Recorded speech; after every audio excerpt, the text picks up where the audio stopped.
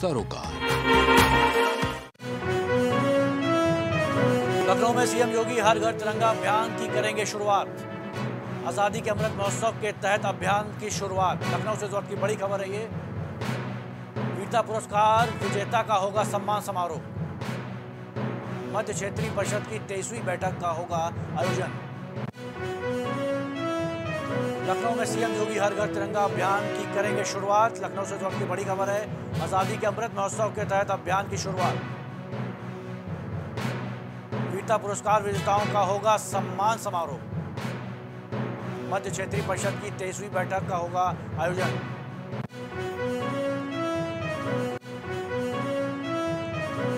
आज़ादी के 75 साल पूरे होने पर कार्यक्रम बुलंदशहर से इस वक्त की बड़ी खबर रही है, रक्तदान शिविर का आयोजन किया जाएगा।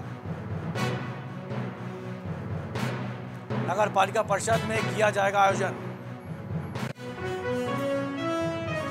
आज़ादी के 75 साल पूरे होने पर कार्यक्रम बुलंदशहर से होगा। बुलंदशहर की इस वक्त की बड़ी खबर है। रक्तदान शिविर का आयोजन किया जाएगा। नगर पालिका परिषद में किया जाएगा आयोजन। से इस वक्त की बड़ी खबर, आज़ादी के 75 साल पूरे होने पर कार्यक्रम किया जाएगा। रक्तदान शिविर का आयोजन भी किया जाएगा वहाँ पर। नगर पालिका परिषद में किया जाएगा आयोजन।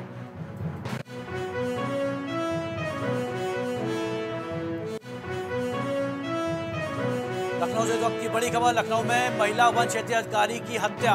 महिला अधिकारी की गला काटकर हत्या कर दी गई। आरोपी पति को स्थानीय लोगों ने दबोचा। पुलिस ने आरोपी को किया गिरफ़्तार। हसनगंज थाना क्षेत्र के बाबूगंज का मामला है।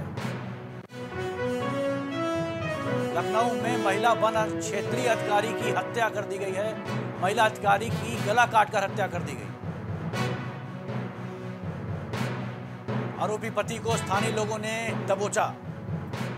पुलिस ने आरोपी को किया गिरफ़्तार।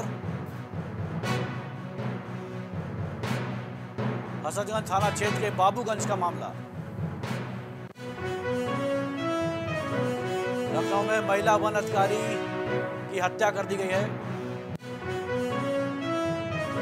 डिप्टी सीएम ने राजू श्रीवास्तव के परिवार वालों से की बात। डिप्टी सीएम केशव प्रसाद ने हर संभव मदद का किया आश्वासन। कॉमेडियन राजू श्रीवास्तव को आया था हार्ट अटैक।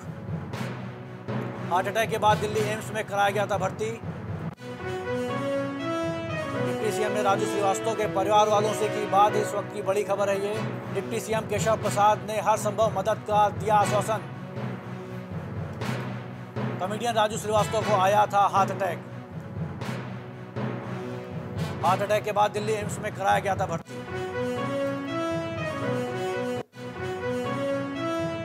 दिल्ली में भाजपा अध्यक्ष जेपी नड्डा का होगा मेरठ दौरा। तिरंगा वाहन रैली को हरी झंडी दिखाएँगे जेपी नड्डा। क्रांति के शहर में आज़ादी का अमृत महोत्सव कार्यक्रम। शहीद स्मारक पहुँचेंगे भाजपा अध्यक्ष जेपी नड्डा। कार्यक्रम के बाद दिल्ली रवाना होंगे जेपी नड्डा।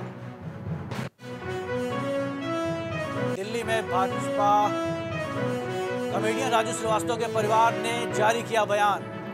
राजू श्रीवास्तव की हालत अब स्थिर। राजू श्रीवास्तव को दिल्ली एम्स में कराया गया भर्ती। राजू श्रीवास्तव की हुई एंजियोप्लास्टी। कॉमेडियन राजू श्रीवास्तव के परिवार वालों ने जारी किया है बयान। राजू श्रीवास्तव की हालत अब स्थिर। राजू श्रीवास्तव को दिल्ली एम्स में कराया गया था भर्ती।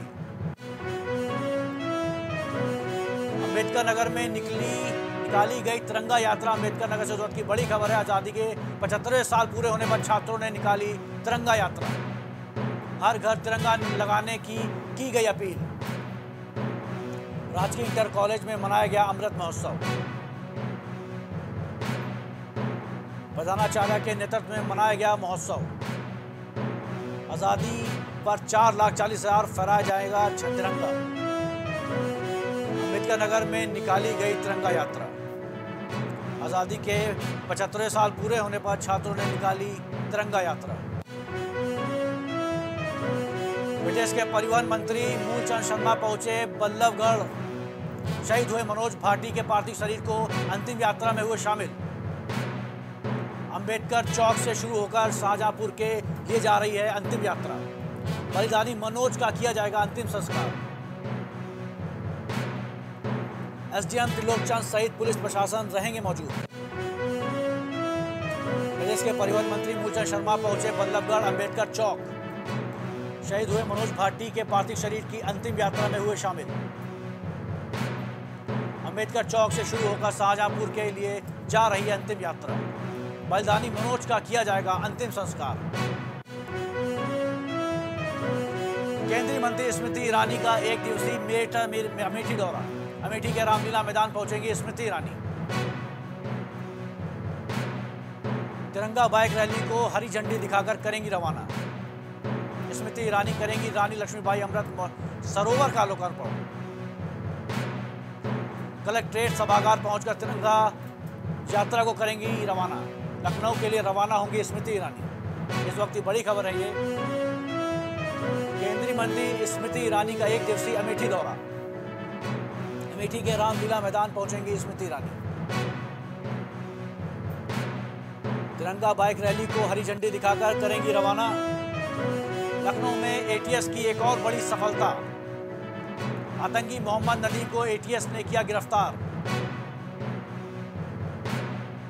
जैश ए मोहम्मद से जुड़ा है आतंकी। एटीएस चीफ नवीन अरोरा के दिशा निर्देश पर हुआ था खुलासा। जेईएम के आतंकी ने नूपुर शर्मा की हत्या कर दिया था। लखनऊ में एटीएस की एक और बड़ी सफलता मिली है। लखनऊ से इस वक्त की बड़ी खबर है ये, आतंकी मोहम्मद नदीम को एटीएस ने किया है गिरफ़्तार। जैश ए मोहम्मद से जुड़ा है आतंकी। एटीएस चीफ नवीन अरोरा के दिशा निर्देश पर हुआ था खुलासा। जेईएम के आतंकी ने नूपुर शर्मा की हत्या कर दिया था टास्क। लखनऊ में एटीएस को एक और बड़ी सफलता हासिल हुई है। कनेलगंज तहसील क्षेत्र, छिट्टू, अपूर गाँव में लोग हुए बीमार। डायरिया के प्रकोप से एक ही परिवार के आठ लोग हुए बीमार। एक महिला की मौत सात लोगों का चल रहा इलाज। सूचना मिलने के बाद मौके पर पहुँचे स्वास्थ्य टीम। टीम ने दवाओं का छिड़काव कर शुरू किया इलाज। एसडीएम ने पहुंचकर ग्रामीण को, से की पूछताछ। कनेलगंज तहसील क्षेत्र के छिटुआपुर गाँव में डायरिया का कहर, डायरिया के प्रकोप से एक ही परिवार के आठ लोग हुए बीमार। एक ही महिला की मौत, सात लोगों का चल रहा है इलाज। सूचना मिलने के बाद मौके पर पहुँची स्वास्थ्य टीम। टीम ने दवाओं का छिड़काव कर शुरू किया इलाज। एसडीएम ने पहुंचकर ग्रामीणों से की पूछताछ। कुशीनगर में युवक ने अपने ही घर पर फहराया पाकिस्तान का झंडा। मनबड़ युवक की करतूत बनी चर्चा का विषय। घर की छत पर लगाया पाकिस्तान का झंडा। पाकिस्तान का झंडा देख लोगों में आक्रोश। स्थानीय लोगों ने दी पुलिस को सूचना।